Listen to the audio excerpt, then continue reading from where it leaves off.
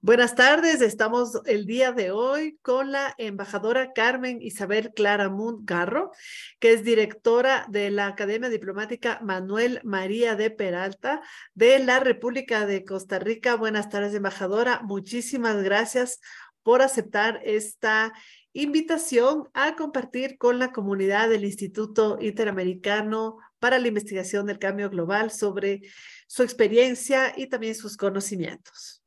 Muchísimas gracias, doña Irene. Es un privilegio para nosotros compartir en la medida de nuestras limitaciones y entusiasmos este, este espacio con ustedes y con la comunidad del Instituto Interamericano para la Investigación y el Desarrollo de la Ciencia relacionado con el cambio global. Gracias. Bueno, vamos a empezar con la primera pregunta directamente. ¿Qué provocó su interés en la diplomacia científica? ¿Cómo se empezó a involucrar con la diplomacia científica? Mire, ese es un cuento muy largo, pero se lo voy a resumir. Hace muchos, muchos años yo era jefe de la oficina de becas. Y cuando era jefe de la oficina de becas, la primera pregunta que me hice fue, ¿qué necesita el gobierno costarricense a efectos de poder impulsar, desarrollar, eh, eh, digamos, este, el país eh, sobre la base de las capacidades instaladas. Y me di cuenta que el espacio que tenía, el, digamos que el ámbito de, de, Costa Rica, que tenía mejor estructuradas cuáles eran sus capacidades instaladas y sus necesidades, era precisamente el ámbito de la ciencia.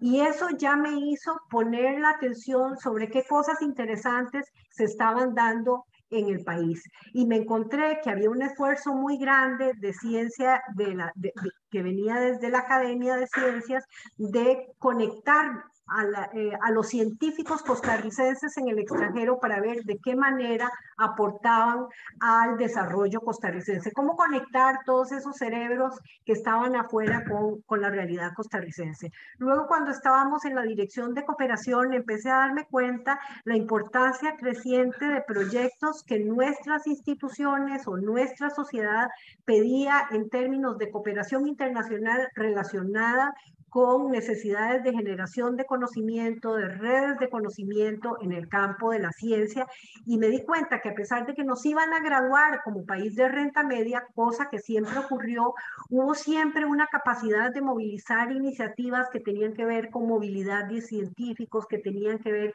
con aplicaciones tecnológicas que eran necesarias para el país, con conexiones entre comunidades científicas, con, el hecho de compartir eh, eh, temas de investigación en el marco interamericano, en el marco iberoamericano, en el marco centroamericano. Estuve en la COP21 y cuando estuve en la COP21 en el 2015 me di cuenta del papel, pero fundamental que jugaron los científicos para poder llevar adelante esa convención que había tardado tantos años en adoptarse y que ahora está teniendo enormes, enormes dificultades, digamos, para poder llegar a las metas que, que, hemos estado aspirando en ese proceso. Yo podría seguir con todos esos elementos que se fueron juntando y que me fueron diciendo, por aquí hay algo que viene que hemos estado haciendo, pero que no hemos consolidado como un quehacer integral dentro de la diplomacia. Entonces, fíjese usted que la primera, la primera cosa que hice fue empezar a documentarme un poco más, porque yo dije, Costa Rica siempre ha hecho cosas de diplomacia científica, acciones, proyectos de cooperación en diplomacia científica, pero no se le llamaba como tal y el término cada vez resuena más, resuena más. Me puse a examinar qué se había hecho, por supuesto di con todo el acervo que ha creado la Asociación Americana para el Avance de la Ciencia, la Real Academia, eh, recordé todo lo que pasó durante la Guerra Fría y el papel que jugaron los científicos para adoptar el Tratado de la Antártida y me dije, a lo mejor siempre hemos hecho diplomacia científica, pero de manera como muy puntual desde la perspectiva de la política exterior, ya sea en organismos multilaterales como el Organismo Internacional de la Energía Atómica, el organismo, el, el Instituto Interamericano de Ciencias Agrícolas, la FAO, etcétera, etcétera, ¿verdad? Salud, la OMPI, todos, la OMPI, propiedad intelectual, con todos ellos trabajábamos ciencia y tecnología, pero como como los aspectos puntuales de la carpeta que había que atender en su, en su momento, pero no con esa visión de transversalidad. Cuando adoptamos la agenda del, de, de 2030, cuando además adoptamos un marco de atención de desastres de Sendai y cuando además adoptamos la Convención de Cambio Climático, en realidad tomamos cuenta de que los retos son de tal magnitud a nivel global que ya no se pueden atender del espacio local, desde el espacio nacional, desde el espacio regional, sino planetario. Y que además en esos espacios no solo los gobiernos ya no tienen la capacidad de avanzar solos, sino que todo el mundo tiene una responsabilidad compartida. Y que además, y que además, más tenemos necesidad de trabajar en permanencia con la ciencia para fortalecer la acción y la incidencia política de los estados en su política interna y en su política exterior, para darle credibilidad, pero también para identificar cuáles son esos riesgos a los que nos estamos enfrentando, cuál es la urgencia o la prioridad en la atención de esas urgencias y cuáles pueden ser las soluciones posibles. Entonces, en ese momento nos dijimos una tarea que tenemos que hacer desde la academia, ya había pasado entonces a asumir funciones en la academia, fue sensibilizar dentro del propio ministerio la necesidad de ver esto como un área de acción, como una oportunidad para poner esfuerzos en común con eh, los científicos de manera que pudiéramos servirles a ellos para desarrollar conocimiento, para desarrollar respuestas que necesitábamos a todos esos retos y también para que ellos nos apoyaran a nosotros en nuestra incidencia en el marco de las relaciones internacionales para ser asertivos en términos de por dónde queríamos caminar y cuáles eran las, cuáles eran las opciones que tenemos a cargo. No podía ser que nosotros y, fue lo que me ocurrió al inicio cuando empecé a hacer una encuesta a científicos y a diplomáticos. ¿Qué, entienden por diplomacia científica? Que cada sector entendiera cosas distintas. Teníamos que empezar a construir un, lenguaje común donde viéramos esas oportunidades comunes de poner eh, esfuerzos eh, ¿verdad? Concatenados, mancomunados en beneficio del país y de la comunidad internacional. Hay algunos ejemplos mundiales sobre los que todavía los gobiernos no llegan a consensos, como el Acuerdo de París, ¿verdad? Hay ejemplos en América Latina donde todavía estamos en vías de llegar a un consenso que sea tan específico como el Acuerdo de París.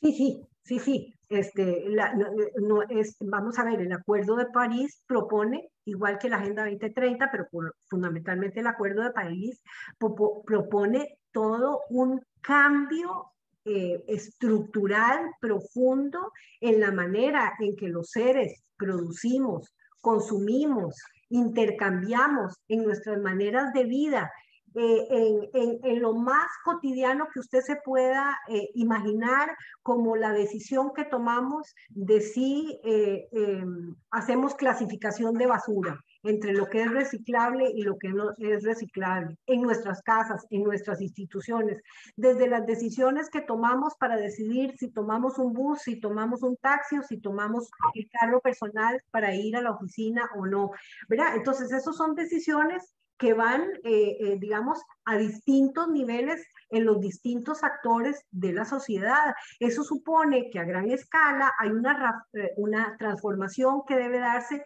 en familias, en comunidades, en países, en regiones, y eso supone pensar, por ejemplo, cuáles son las estrategias que cada país va a tener para cambiar su matriz motora, su matriz energética en temas de transporte, eso no es fácil, no se puede cambiar de la noche a la mañana, cambiar el tipo de infraestructura, ver si, por ejemplo, el plástico que desechamos, que sabemos que no es, que no es fácilmente eh, reutilizable, si lo podemos construir, utilizar para construir nuevos modelos de carretera que sean más resilientes ante lo drástico de las, de las, de las, de, digamos, de las precipitaciones pluviosas, eh, supone una investigación detrás que tal vez no todos los países han podido llevar adelante, eh, ¿verdad? En términos de cuál es esa infraestructura más, más resiliente, en términos de cuáles son esas viviendas que deben tener las condiciones de aislamiento, de protección, de, resistencia a huracanes, pero no solamente para quienes tengan la posibilidad de pagar los nuevos eh, eh, innovaciones que se hacen en ese campo, sino que estén al alcance de todos los seres humanos, las aplicaciones para minimizar eh, los gastos en consumo del gas o en consumo de la electricidad, las aplicaciones para de pronto reciclar eh, eh, los desechos, todo el tema de la economía circular, cuánto conocimiento tenemos en nuestros países, en nuestras localidades, de cómo podemos eh, volver rentable esa, esa, economía de desechos, ¿verdad? Cómo organizarnos para no recurrir a plásticos de un solo uso, eh, ¿verdad? Y es toda una transformación cultural. Lo más fácil que aprendimos en los años 60 y posteriormente es que íbamos de picnic y llevábamos todo plástico y todo lo botábamos. ¿Verdad? Lo más práctico en los restaurantes por aquello higiene era poner la, la, la, pajilla plástica, cambiar una pajilla plástica o un plato plástico o un plato reciclable, eso ahorita todavía tecnológicamente tiene un costo mayor y no está al alcance de todo el mundo. Entonces, muchos de estos cambios que tenemos los países a diferente escala tienen que ver con cómo están nuestras capacidades económicas.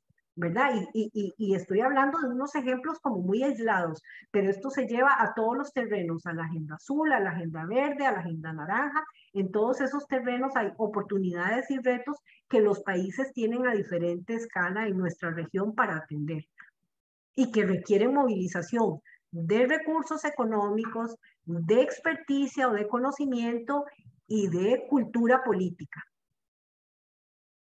Lo que más rescato de su respuesta es la movilización conjunta de recursos para que haya una equidad en los beneficios, que los países que no tienen todos los recursos para investigar, eh, para adoptar nuevas, eh, para adoptar innovaciones, tengan la posibilidad.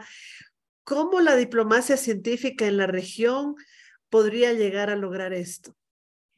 Bueno, lo primero que la diplomacia científica en la región debe, y creo que ya lo empezó a hacer, y creo ahí que el Instituto Interamericano este, para el Cambio Global lo está impulsando muy fuertemente, es acercando a las comunidades científicas, pero no solamente acercando a las comunidades científicas de la región entre ellas, Creo que todavía va a ser más importante acercar a las comunidades científicas de la región, también con los políticos, con los tomadores de decisión, con el sector privado, con otros sectores que vemos totalmente desvinculados, porque en el pensamiento occidental y ahora en el pensamiento mundial somos muy binarios. A veces creemos que la ciencia es una cosa y la diplomacia es otra. Aprendimos en el siglo XX la especialización y perdimos la perspectiva de la generalidad, la perspectiva del conocimiento integrado. Y entonces ahora el gran reto es cómo nos volvemos a juntar en todos esos niveles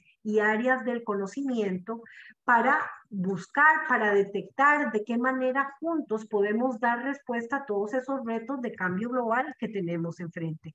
Entonces, la, eh, la diplomacia científica tiene que tener muy claro que si se llama diplomacia científica, tiene dos componentes mínimos.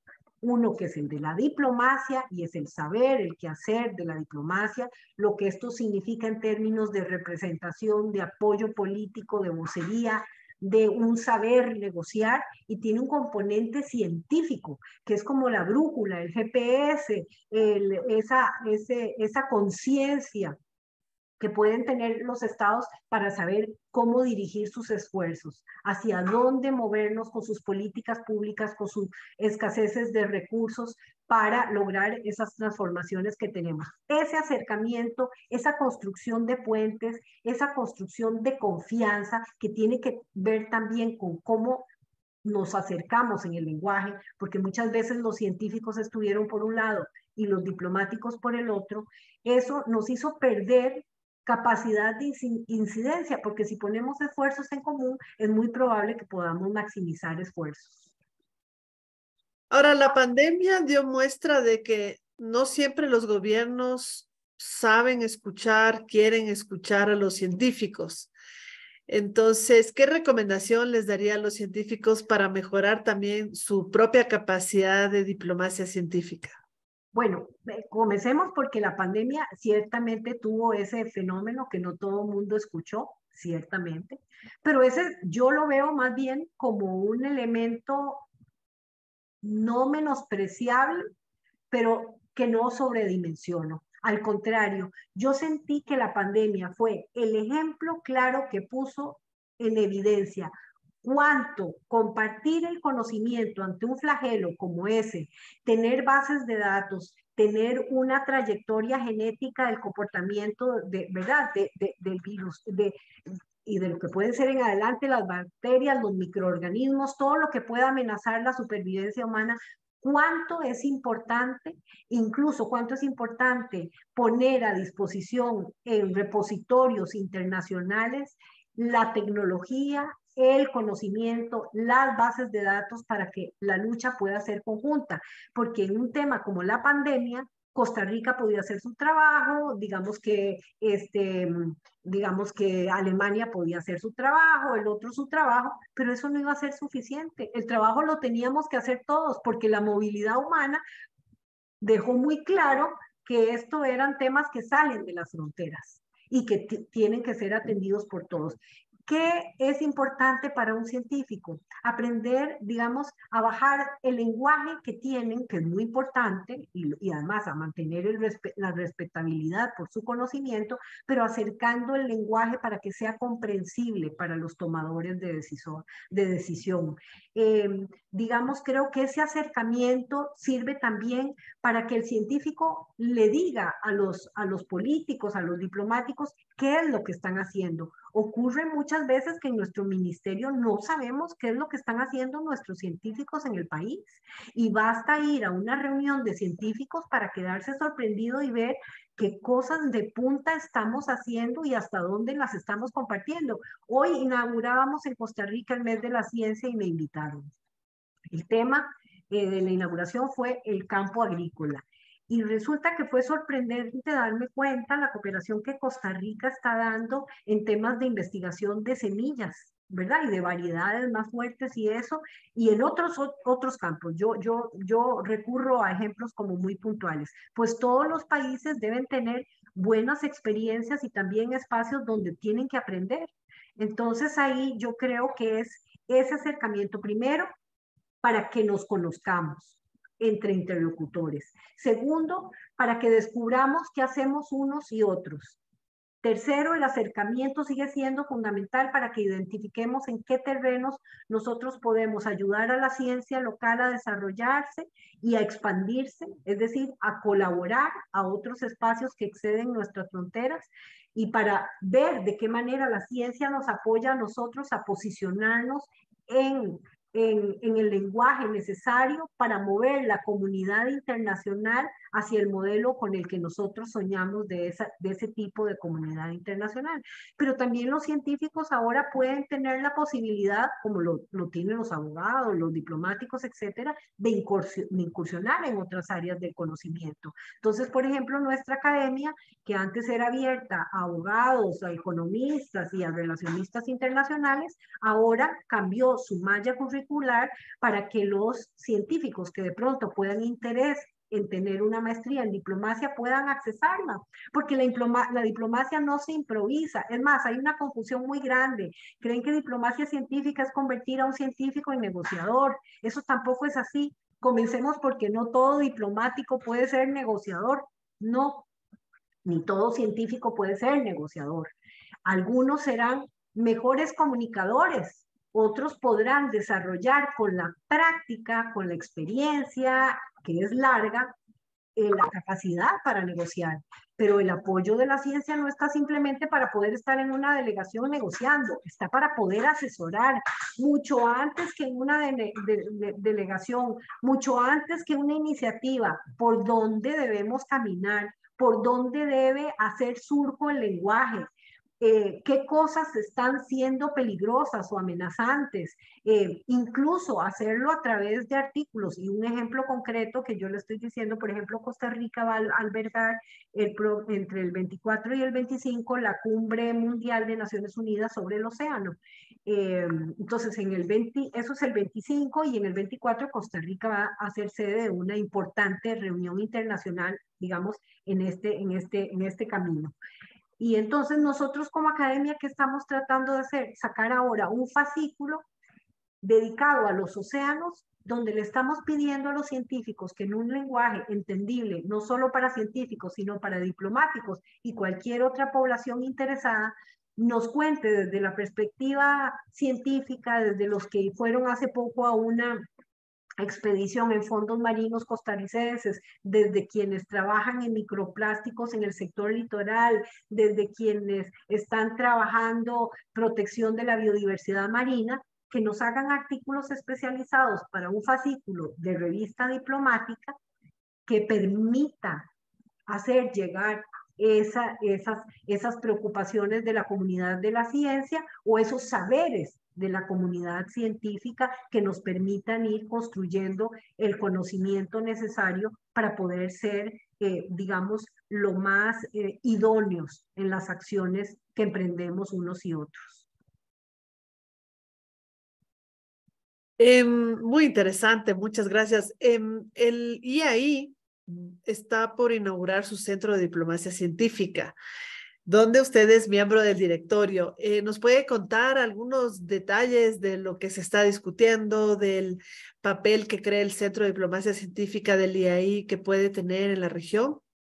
Bueno, justamente ahora una reunión en Panamá hace poco tiempo donde este, ya se le dio el banderazo de salida, por decirlo así, al, al, recién creado Centro de Diplomacia Científica, que justamente está concebido como ese órgano encargado de impulsar este tipo de conexiones este tipo de conexiones neuronales, diría yo, para poner en marcha eh, digamos, todo ese ah, eh, diálogo, esos espacios de intercambio, de conocimiento, de creación de redes de investigación, de movilidad de profesionales, de discusiones desde la política pública hacia la ciencia y de la ciencia a la política pública, para ver de qué manera impulsamos este, el desarrollo de gente joven, probablemente el desarrollo de mujeres, cómo incorporamos temas que parecen minoritarios y que parecen no estar en la agenda, que de pronto tienen que ver con minorías,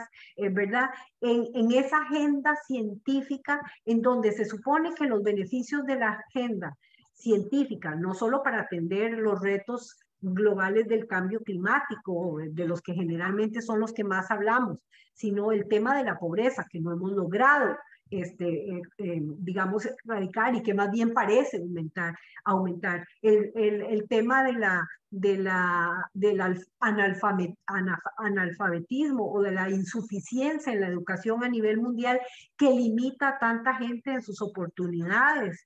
Eh, cómo hacer que la alimentación donde hay carestías, llegue a todo ser humano para quitar todas esas brechas y donde hay avances en ciencia y tecnología, o pueden haberlo en ciencia y tecnología, que permitan que los beneficios de estos sectores lleguen a la humanidad y no lleguen solamente a algunos grupos, no sean solamente un interés de los gobiernos, eh, digamos, para desarrollar este, industrias o empresas, digamos, que claramente dan empleo, que claramente redistribuyen beneficios, beneficios, pero que muchas veces no están al alcance de todos. Entonces yo creo que ahí en ese marco todo ese tipo de perspectivas, todo ese tipo de enfoques, de acercamientos entre múltiples actores, de consideraciones de múltiples retos a distintos niveles, pueden entrar en juego bajo un marco ordenador que lo impulse, que lo estimule. Eh, se me hace muy importante que como hay otras iniciativas también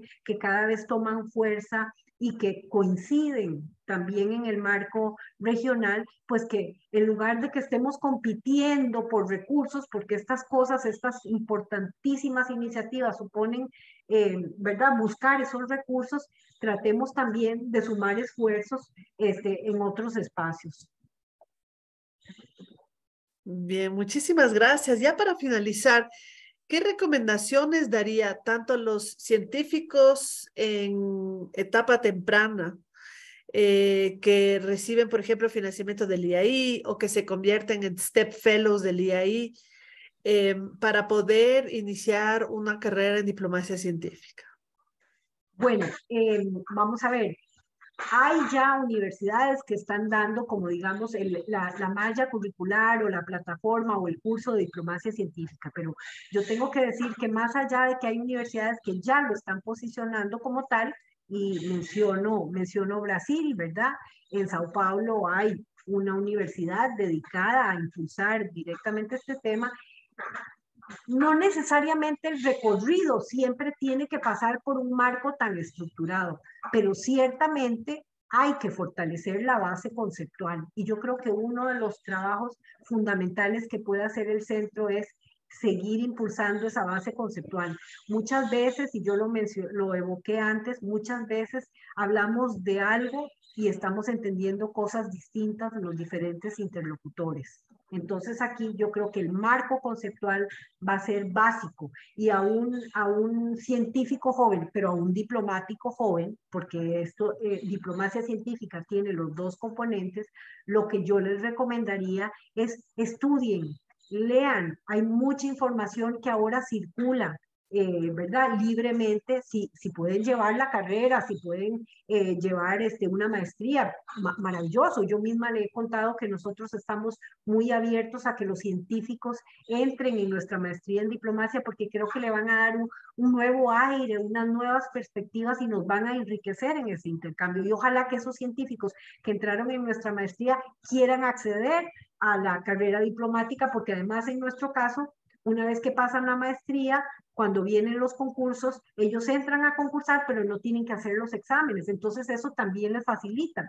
Pero más allá de eso, como yo le digo, no necesariamente es que la diplomacia científica supone que los científicos sean diplomáticos. No necesariamente. Esa confusión no hay que hacerla. Significa que sepan hablar también con la diplomacia, que se acerquen para mostrar en qué están, qué saben, cómo no saben, de qué manera pueden apoyar. Por ejemplo, ahora para la cumbre de los océanos se nos acercaron varios jóvenes científicos que están trabajando en temas de océanos. De una vez los pusimos en comunicación con nuestra dirección de medio ambiente y desarrollo sostenible que ve todo el tema de cambio global y océanos para decirle a que estos científicos que quieren ser parte de este proceso de organización de la cumbre oceánica. Ellos no han tenido en este momento una maestría ni nada de eso, pero muy probablemente ya empiecen con un cierto fogueo, un cierto acercamiento a entender cómo funcionan esos organismos, cómo se negocian esos organismos para la, eh, la COP21 habían científicos, pero no es cierto que esos científicos ya tenían una larga eh, trayectoria en participación en cumbres. Eran procesos de aprendizaje paulatinos en donde van agregando experiencia y donde uno va recurriendo a ellos a medida de que existe ya una cierta experticia para que sirvan como asesores como apoyo y muchas veces ciertamente los ponemos a negociar porque ya han logrado un cierto nivel de madurez y de experiencia en ese campo. Pero como le digo, la diplomacia científica no es simplemente ir al frente a una negociación, es muchísimo más que eso y hay muchos ámbitos y muchas perspectivas de donde ambos sectores pueden trabajar y poner esfuerzos comunes al servicio de la humanidad. Muchísimas gracias. Qué entrevista tan interesante. Ya hasta yo estoy convencida de que debería aprender más sobre diplomacia científica. Bueno, damos por finalizar nuestra entrevista con la embajadora Carmen Isabel Claramunt, del, eh, de la directora de la Academia Diplomática del Ministerio de Relaciones Exteriores y Culto de la República de Costa Rica. Muchísimas gracias por compartir con nosotros el día de hoy. Gracias a usted, doña Irene, y gracias a usted por el tiempo privilegiado. Ojalá los muchachos eh, de hoy en día que se educan vuelvan a esa mentalidad renacentista y cuando digo renacentista estoy pensando no solo en el renacimiento italiano sino en el renacimiento del siglo XII y XIII, ¿verdad? Que trató de recuperar todo ese conocimiento que estaba ahí siendo contenido pero que ya desbordaba con nuevas sensibilidades, nuevas eh, eh, perspectivas y donde quería aflorar una nueva forma de ver el mundo de entender eh, nuestra existencia sobre la tierra y yo creo que ese espíritu renacentista comienza por entender que no vivimos en, en, aislamiento, sino que tenemos que comunicarnos unos con otros, que vivimos en sociedad y que somos capaces de sacar adelante la tarea juntos. Gracias. Hasta luego, gracias a usted.